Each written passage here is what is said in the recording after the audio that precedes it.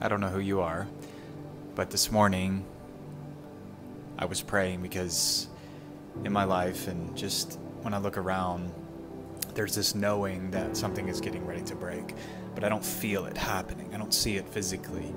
And so I was praying, and all I could hear from God this morning was don't force anything. Don't force anything. Don't force anything because when I'm silent, I'm working. I'm working. Don't get out of alignment. Don't move. Your only thing to do is to be still and let me fight your battles. You're only going to delay it if you get in the way. I hear this so clearly for somebody. I love you. Don't force anything.